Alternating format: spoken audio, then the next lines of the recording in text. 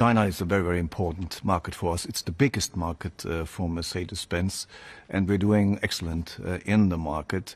So we are starting now to roll out our uh, pipeline of products, electric products in the market.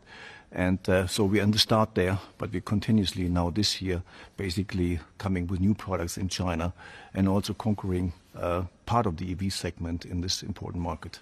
And what, how, what, about the US? Because clearly the US is mm, the second biggest important market, and there's also a climate initiative, but there's also a bit of a protectionist movement, even with the new Biden administration when it comes to cars. So, how are you doing there?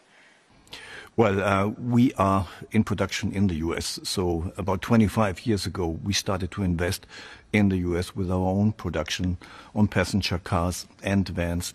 And actually, this year will mark the year where we start our electric uh, EVs coming out of our U.S. plant in Alabama. So this is going to be a major milestone.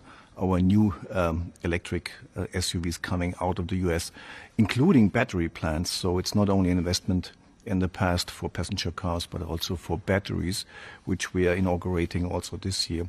So we're covering the entire value chain of EV vehicles in the US. That's why we look very confident uh, in talking to the administration as well there.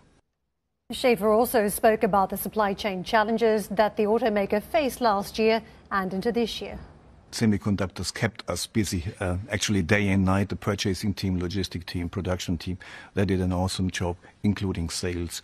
But I believe it uh, might continue into the first half in 2022. So there's a lot of focus, and the task forces will continue to work on semiconductors, even going into 2022 there. But we're getting more involved in the supply chain of semiconductors with new agreements with semiconductor suppliers, new contracts, and much more focus on semiconductors in the future, including the selection of hardware, which uh, we did not do in the past. So this will be a new focus.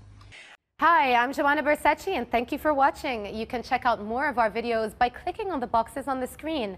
And don't forget to subscribe to our channel for more from CNBC International. Thank you for watching.